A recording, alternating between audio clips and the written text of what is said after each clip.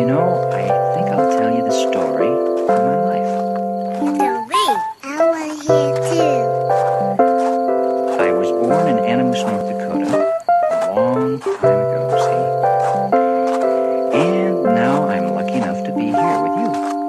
Yeah, but what happened in between? Yeah, what else happened? Well, it uh, went pretty much like this. If you were on the Christmas day